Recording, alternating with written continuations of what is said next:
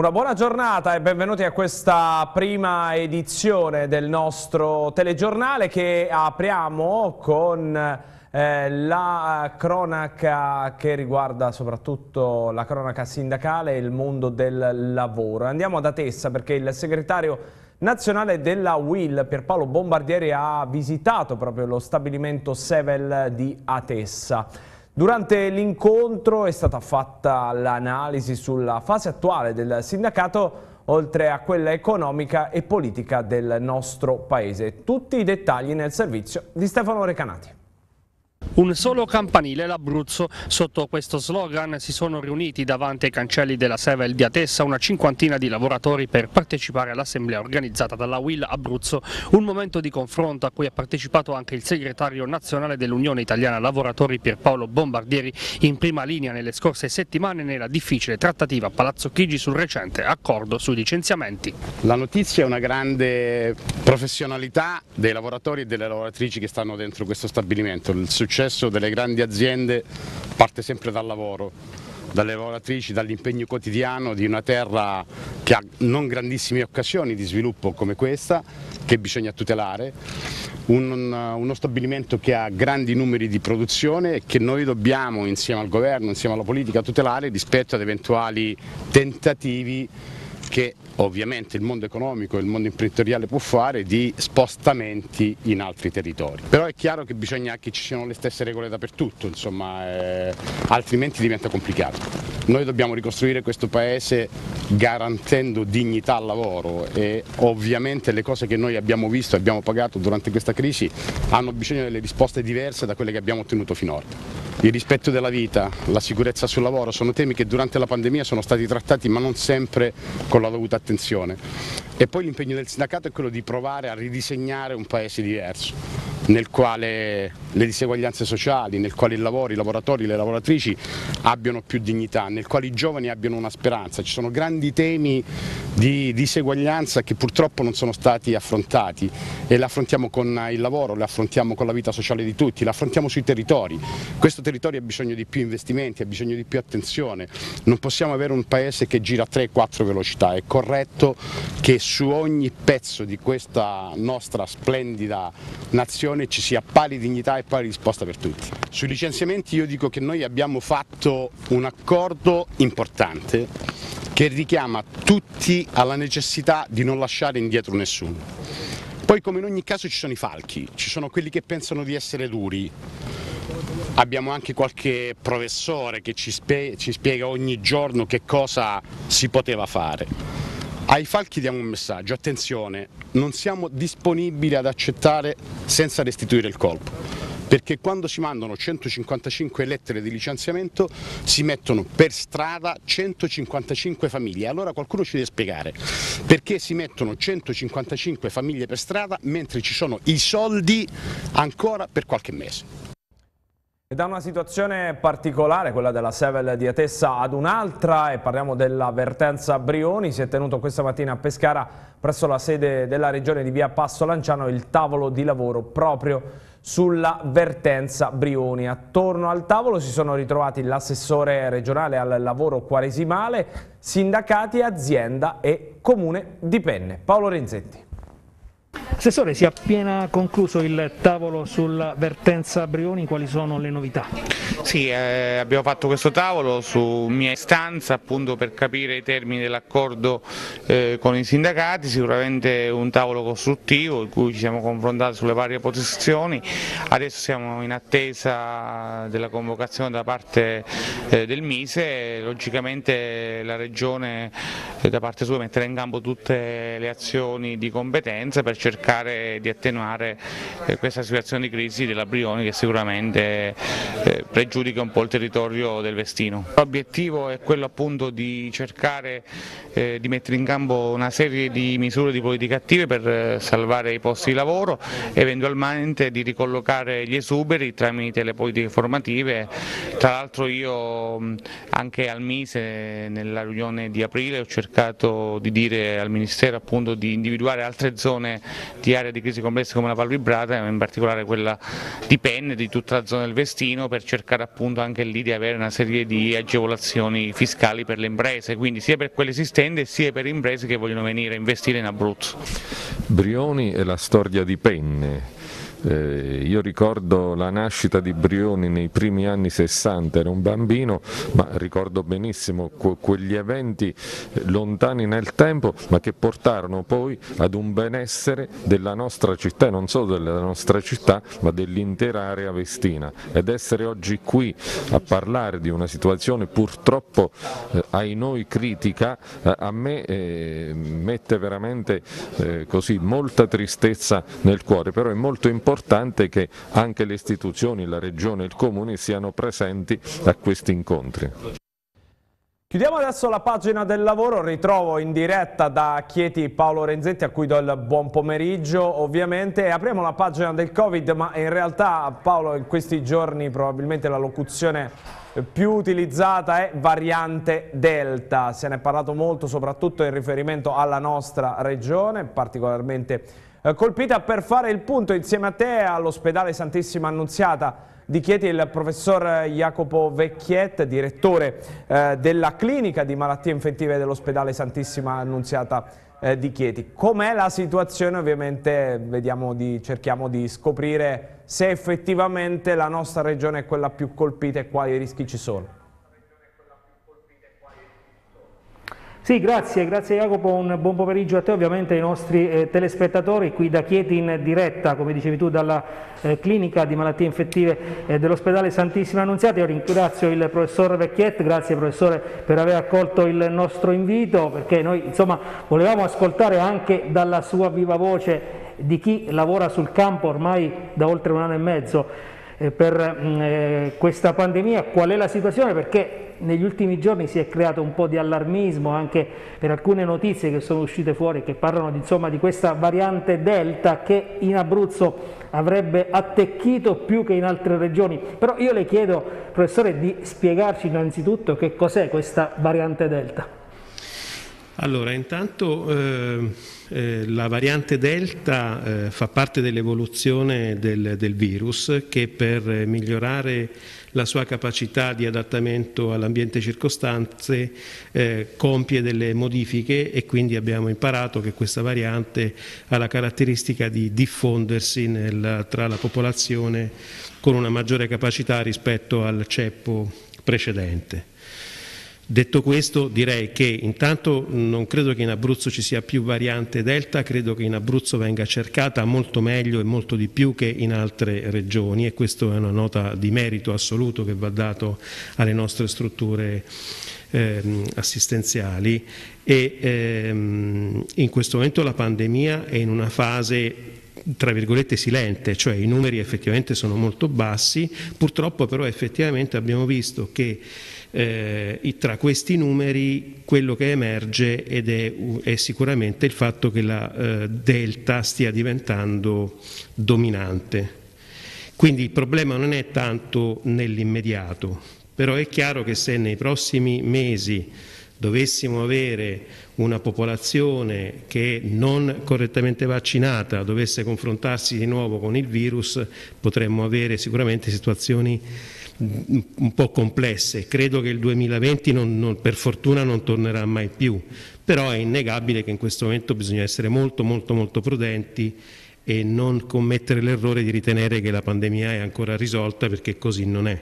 C'è da essere, eh, professore, un po' preoccupati per il mese di settembre quando si tornerà dalle vacanze, si tornerà a scuola, eh, si tornerà alla vita normale di tutti i giorni.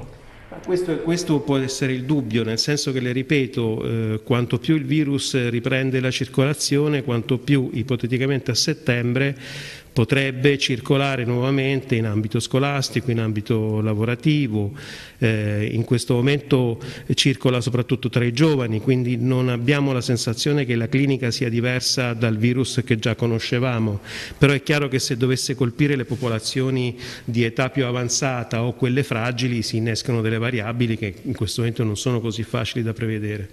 Variante Delta, ma ci sono altre varianti di questo virus? E se sì, professore, quanto sono pericolose, se così si può dire? Allora, al momento di varianti ne hanno individuate 11, eh, sembrerebbe che siano tutte non eh, clinicamente differenti l'una dalle altre. Eh, c'è un lavoro recentemente uscito che ipotizza che ce ne sia una di queste che invece è un po' più pericolosa perché cambia talmente le caratteristiche del virus che potrebbe eludere teoricamente la vaccinazione. Ma al di là del numero e al di là delle considerazioni, il concetto è che il virus purtroppo, continuando a circolare, produce queste varianti. Quindi l'unica strada che noi abbiamo per evitare che lui faccia le varianti e inibirlo e la vaccinazione è la strada migliore per evitare che appunto attraverso la circolazione lui possa produrre ulteriori varianti. Professore, prima di dare la linea allo studio eh, per qualche domanda del eh, collega Jacopo Forcella, eh, tornando all'attualità, alla situazione di oggi, eh, lei dirige questa eh, clinica di malattie infettive dell'ospedale di Chieti che è un baluardo eh, per quanto riguarda la nostra sanità. Qual è ad oggi la situazione e quanti ricoverati ci sono? Intanto la ringrazio per aver definito la mia struttura un baluardo, questo è un titolo di merito che va sicuramente al personale infermieristico, eh, ai medici e a tutti quelli che ruotano attorno all'assistenza eh, nel reparto di malattie infettive. Al momento le ripeto, noi vediamo che i numeri sono nettamente calati eh, e quindi questo ci pone in una condizione di serenità, quindi quello che dobbiamo evitare magari è di fare quello che è stato fatto l'anno scorso, e cioè di ritenere che il virus sia completamente scomparso e scomparso non è e quindi per evitare che possa riprendere vigore dobbiamo continuare a mantenere quelle, quegli atteggiamenti che ben conosciamo, soprattutto negli ambienti chiusi, quindi il distanziamento, la mascherina e la sanificazione delle mani, ma soprattutto la vaccinazione, anche perché eh, avendo fatto la seconda dose sembrerebbe che queste varianti comunque non hanno l'impatto clinico che invece abbiamo visto nei soggetti non vaccinati. Jacopo, a te la linea. Sì, eh, buon pomeriggio professore, ovviamente la ringraziamo per la disponibilità. Alcune, un paio di curiosità, ecco lei parlava della, della vaccinazione ciclo completo. Eh, per chi, ed è una larga fascia della popolazione in questo momento, si trova tra la prima e la seconda dose di vaccinazione, quali rischi ci sono? Allora, intanto esistono dei, dei dati che dimostrano che già a pochi giorni dalla prima vaccinazione c'è già una risposta immunitaria, quindi l'importante è aver iniziato il ciclo vaccinale. Finché non lo si è concluso è importante che queste persone abbiano una certa eh, attenzione rispetto ai comportamenti per evitare di entrare a contatto con il virus, perché le ripeto, pur avendo già una copertura dopo la prima vaccinazione, l'ottimale lo si raggiunge dal punto di vista immunologico con la seconda. Eh, altra considerazione, si è detto che la variante Delta eh, è più contagiosa ma tendenzialmente meno pericolosa, è una leggenda metropolitana, è così, non è così? Allora, la sensazione è che effettivamente è così, consideri che di dati eh, sull'impatto clinico non ne abbiamo ancora molti, è anche vero però che in questo momento la variante Delta sta circolando nei soggetti molto giovani. E quindi storicamente noi sappiamo che eh, nei soggetti giovani l'impatto del virus è molto ridotto. Ecco perché eh, diciamo, dobbiamo muoverci con molta prudenza, perché il timore è che se questo virus riprende a circolare potrebbe, come dicevamo, magari a settembre, circolando in una vasta, in un'ampia fetta di popolazione, magari anziana, fragile e non vaccinata, eh, eh dare i quadri clinici che purtroppo abbiamo visto nella prima fase. Eh, l'ultima per quanto mi riguarda, professore, prima lei ha parlato di 11 varianti dalla scoperta del Covid ad oggi. Ecco, dobbiamo rassegnarci al fatto che probabilmente anche in futuro ne troveremo altre, dopo quella inglese, quella indiana, adesso la variante Delta? Guardi, le colonie virali si comportano esattamente come qualsiasi gruppo animale che abbiamo imparato a conoscere con le leggi di Darwin. Questa è l'evoluzione del virus. Il virus ha uno spirito di sopravvivenza come qualsiasi essere vivente e quindi nel passare del tempo le nuove generazioni acquisiscono quelle informazioni che consentono di vivere meglio. Quindi il virus sa benissimo che quando trova l'anticorpo e non riesce a entrare nella cellula dell'uomo perché lui vive solo all'interno della cellula dell'uomo ha due strade, o morire o infettare qualcun altro. Quindi le varianti sono una pandemia nella pandemia, ecco perché dobbiamo vaccinarci. Paolo. Sì, per chiudere un paio di domande brevissime da parte mia, eh, professore, e poi la lasciamo, ovviamente la ringrazio già, già anticipatamente per il tempo che ci ha dedicato, eh, si va in vacanza, che raccomandazioni eh, si sente di dare a chi, eh, soprattutto ai ragazzi che andranno in vacanza? E poi l'altra domanda, le mascherine, queste mascherine dovremo continuare a portarle eh, nei luoghi al chiuso, considerando che all'esterno ora non c'è più l'obbligo? Allora, si sa che in ambiente esterno la possibilità di diffondere il virus, eh, che il virus ha di diffondere, è molto molto bassa, quindi correttissimo l'idea di non usarla all'aperto. Eh, qualche dubbio rimane al chiuso, anzi sarebbe opportuno che negli ambienti chiusi vadano eh, mantenute. Eh, è chiaro che eh, anche rispetto alle precauzioni direi che comunque il distanziamento, la sanificazione delle mani soprattutto è fondamentale e eh, ovviamente l'ideale sarebbe la vaccinazione, quindi muoversi avendo fatto il vaccino eh, sarebbe la cosa ideale. Perché va in vacanza cosa si sente di dire, cosa si sente di raccomandare?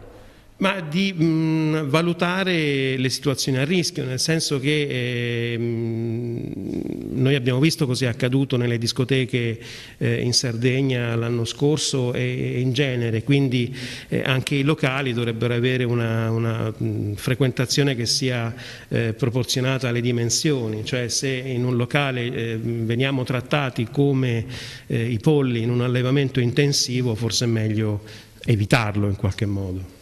Perfetto, grazie. Grazie ancora al professor Jacopo Vecchiette, direttore della clinica di malattie infettive dell'ospedale Santo Spirito di Chieti, da dove vi abbiamo parlato. Grazie ovviamente a Maurizio Dagui per l'assistenza tecnica, linea che può tornare allo studio. A te Jacopo. Grazie, grazie Jacopo, grazie al professor Vecchiette, ospedale Santissima Annunziata, lapsus eh, geografico, ma ovviamente il Santo Spirito è Pescara, Santissima Annunziata a Chieti. Grazie al professor Jacopo Vecchiette, noi rientriamo e cambiamo argomento argomento le opportunità del contratto istituzionale di sviluppo, strumento voluto dal Partito Democratico e avviato quando Giuseppe Provenzano, oggi vice segretario nazionale, era ministro del Sud. Si tratta di 160 milioni per la rinascita economica e sociale dei territori colpiti dal terremoto 2016-2017 in cui sono compresi quelli in provincia dell'Aquila e di Teramo. Il PD abruzzese proprio con Provenzano ha tenuto all'Aquila e a Teramo due incontri per spiegare gli obiettivi e sollecitarne i modi di attuazione.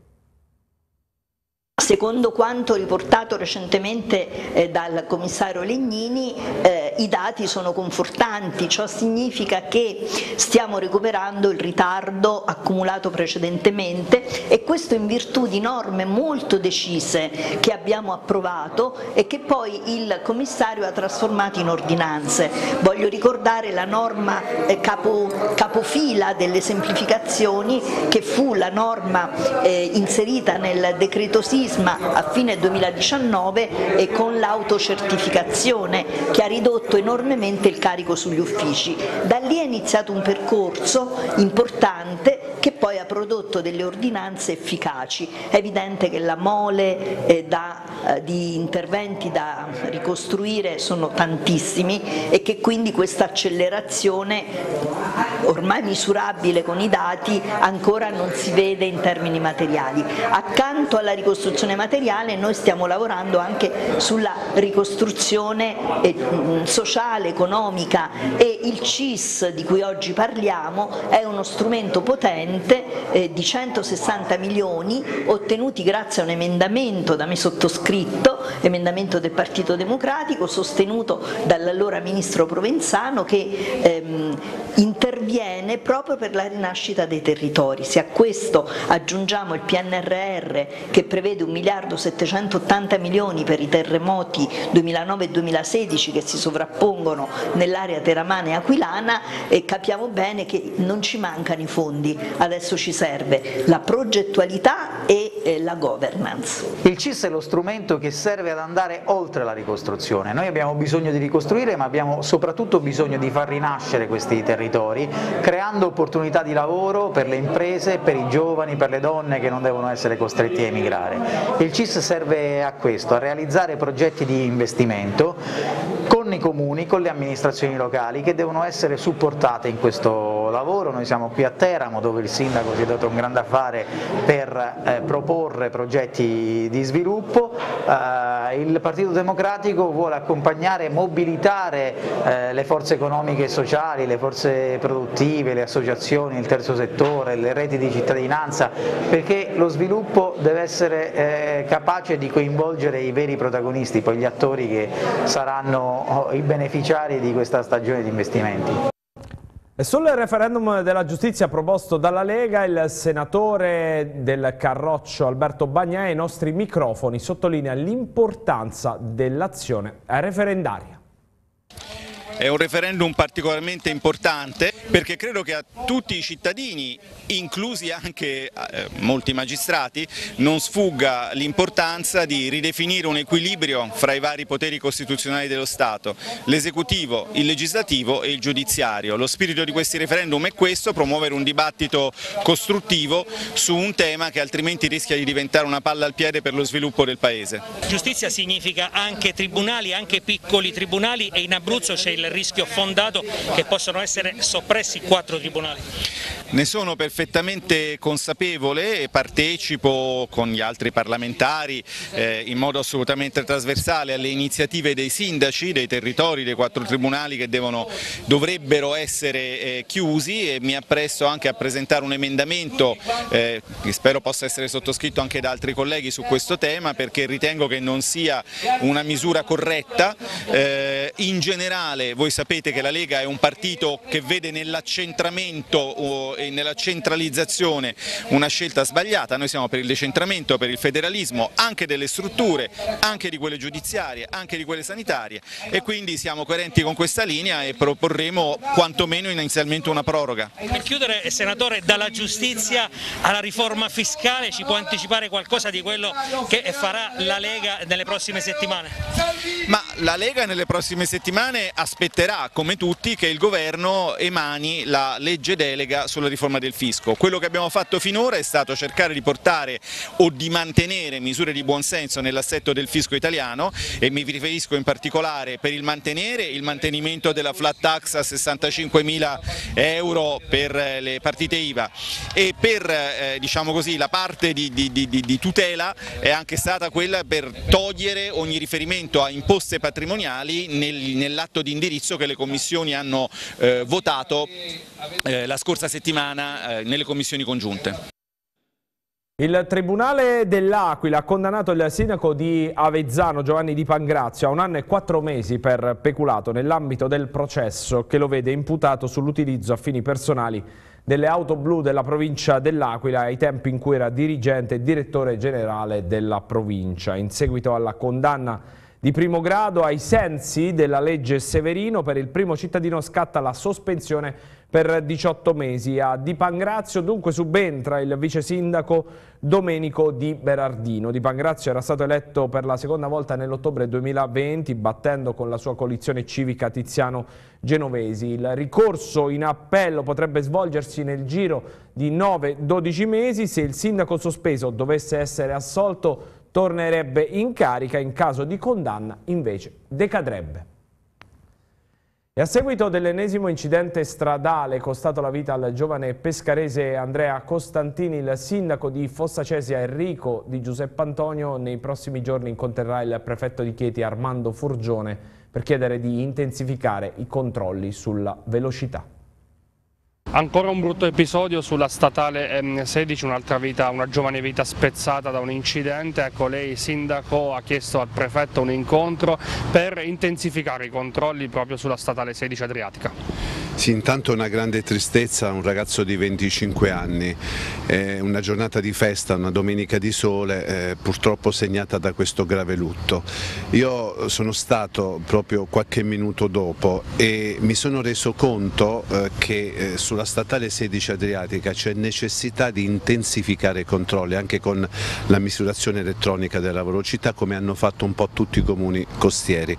Ho scritto al prefetto, eh, mi sono appellato alla sua grande sensibilità del prefetto di Chieti per eh, verificare con lui come intensificare il controllo. Ehm, intanto stiamo definendo l'assunzione di altri agenti di polizia locale eh, che disporrò per la loro presenza sull'Adriatica. Purtroppo siamo la terza vittima dall'anno scorso ad oggi nel territorio che attraversa appunto Fossa Cese la statale 16 Adriatica. Ci sarà la possibilità anche di lavorare, non so, per mettere dei dissuasori di velocità, delle nuove rotonde? Devo dar atto all'ANAS per eh, la disponibilità in un paese in cui purtroppo l'amministrazione pubblica eh, fa acqua in molte parti, eh, l'ANAS ha dato disponibilità massima, adesso per i dissuasori dobbiamo vedere perché è una statale adriatica e spetta comunque all'ANAS.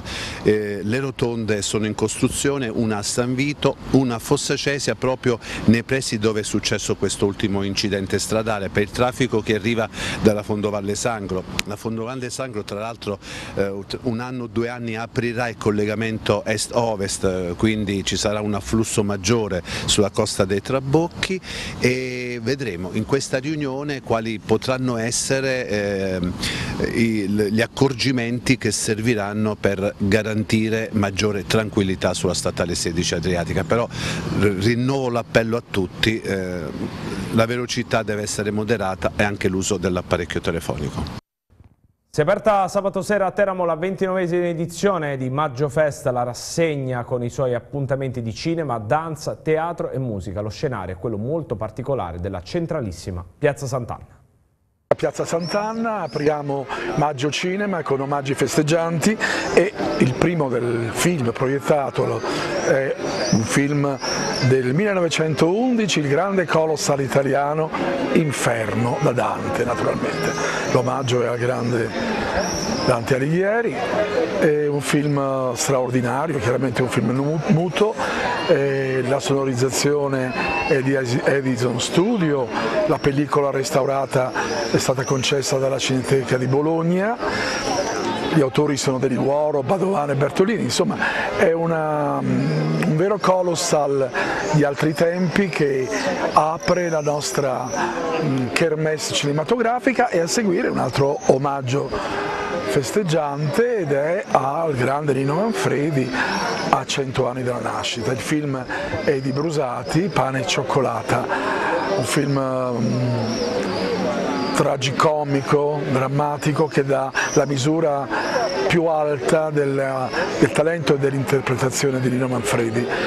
E queste sono le uniche due proiezioni che faremo all'aperto qui a Sant'Anna, poi si continua il 7 e l'8 alle 21 allo Smeraldo sempre in questo mese con eh, un omaggio ad Arida Valli, si aprirà il 7 con Arida, un docufilm bellissimo sulla grande star italiana, non solo, internazionale, a seguire Senso di Visconti e il giorno dopo l'8 ricordo a 100 anni anche qui della nascita della grande Giulietta Masina con una pellicola di Fellini, Giulietta degli Spiriti. E non è un caso che nella giornata dell'8 abbiamo ricordato Giulietta Masina con Giulietta degli Spiriti e il grido di Antonioni per Valli perché entrambi i film vantano la straordinaria fotografia di Gianni di Venanzo.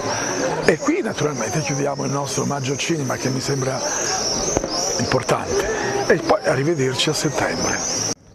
Adesso parliamo di sport, è scaduto il termine ieri per le promosse dalla Serie D, come nelle previsioni saranno tutte i nastri di partenza per il prossimo campionato di Lega Pro, tranne il Gozzano, che ha rinunciato al terzo torneo nazionale. Due slot liberi dunque, visto che la Casertana sembra essere destinata ad abbandonare il professionismo. Come nelle previsioni il lunedì termine ultimo per le vincitrici dei rispettivi gironi di Serie D ha visto tutte le compagini tranne una depositare la domanda di iscrizione al prossimo torneo di Lega Pro.